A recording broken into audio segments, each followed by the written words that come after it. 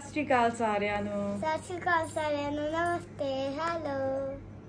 ਸਵਾਗਤ ਹੈ ਤੁਹਾਡਾ ਸਾਡੇ ਚੈਨਲ ਤੇ। ਅੱਜ ਆਪਾਂ ਕਰਾਂਗੇ ਗੁਰਨਾਜ ਦੇ ਸਟ੍ਰੀਟ ਹੇਅਰਸ ਦੇ ਉੱਤੇ ਇੱਕ ਸੋਹਣਾ ਜਿਹਾ ਹੇਅਰ ਸਟਾਈਲ। ਚਲੋ ਕਰਦੇ ਹਾਂ ਸਟਾਰਟ।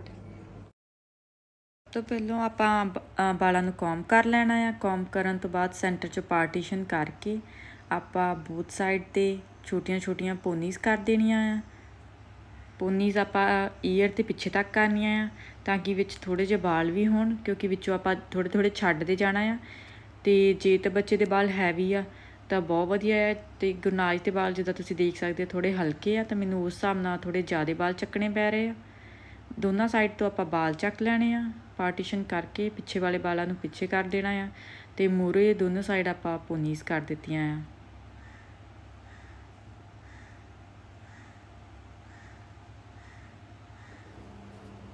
ਇਹ ਪੋਨੀਜ਼ ਹੁਣ ਇਦਾਂ ਲੱਗਦੀਆਂ ਪਈਆਂ।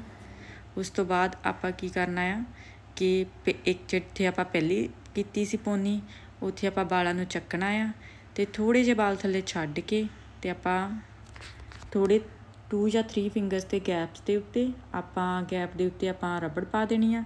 ਰਬੜ ਪਾ ਕੇ ਨੈਕਸਟ ਫੇਰ ਆਪਾਂ ਉਹੀ ਰਿਪੀਟ ਕਰਨਾ ਥੋੜੇ ਵਾਲ ਛੱਡ ਕੇ ਤੇ 3 ਫਿੰਗਰਸ ਤੇ ਗੈਪ ਦੇ ਉੱਤੇ ਆਪਾਂ ਨੈਕਸਟ ਰਬੜ ਪਾ ਦਿੱਤੀ ਆ। ਤੇ ਹੁਣ ਆਪਾਂ ਸੇਮ ਕਰਨਾ ਰਿਪੀਟ ਦੂਸਰੀ ਸਾਈਡ ਤੇ। ਦੂਸਰੀ ਸਾਈਡ ਤੇ ਵੀ ਇਸੇ ਤਰ੍ਹਾਂ ਆਪਾਂ ਕਰ ਦੇਣਾ ਆ। ਬਾਲ ਛੱਡਦੇ ਜਾਣਾ ਤੇ ਥੋੜੇ ਥੋੜੇ ਗੈਪ ਦੇ ਉੱਪਰ ਆਪਾਂ ਰਬੜ ਜਿਹੜੇ ਆ, ਉਹ ਪਾਉਂਦੇ ਜਾਣਾ ਆ।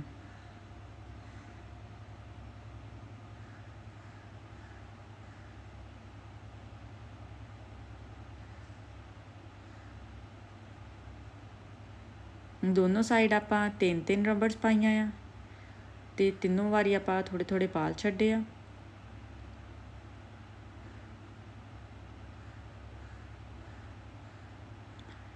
ਹੁਣ ਤੁਸੀਂ ਦੇਖ ਸਕਦੇ ਆ ਕਿ ਆਪਾਂ ਦੋਨੋਂ ਸਾਈਡ ਤਿੰਨ ਤਿੰਨ ਰਬੜਸ ਪਾਈਆਂ ਆ ਤੇ ਜਿਹੜੇ ਵਾਲ ਆਪਾਂ ਥੋੜੇ ਥੋੜੇ ਛੱਡ ਦਿੱਤੇ ਆ।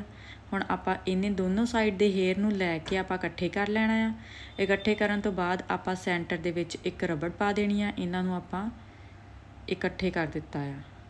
ਕਰਨ ਤੋਂ ਬਾਅਦ ਆਪਾਂ ਇਹਨਾਂ ਦੇ ਉੱਤੇ ਰਬੜ ਪਾ ਲਈ ਆ। ਹੁਣ ਤੁਸੀਂ ਦੇਖ ਸਕਦੇ ਇਹ ਇਦਾਂ ਦੇ ਲੱਗਦੇ ਪਏ ਆ।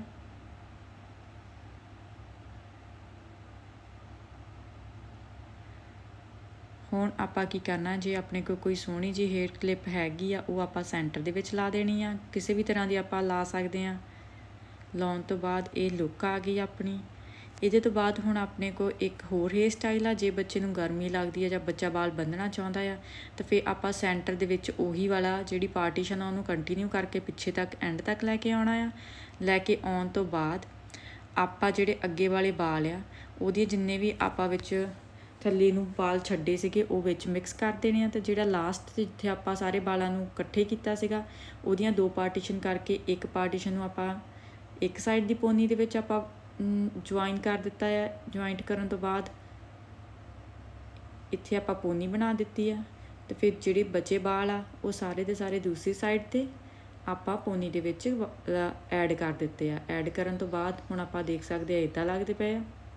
ਤੇ ਸੈਂਟਰ ਦੇ ਵਿੱਚ ਉਹੀ ਵਾਲੀ ਆਪਾਂ ਜਿਹੜੀ ਆ ਇਹ ਆਪਣੀ ਹੇਅਰ ਕਲਿੱਪ ਆ ਉਹ ਆਪਾਂ ਲਾ ਦਿੱਤੀ ਆ ਤੇ ਇਹ ਹੁਣ ਆਪਣਾ ਵਾਲਾਂ ਦਾ ਹੇਅਰ ਸਟਾਈਲ ਦੂਸਰਾ ਰੈਡੀ ਹੋ ਗਿਆ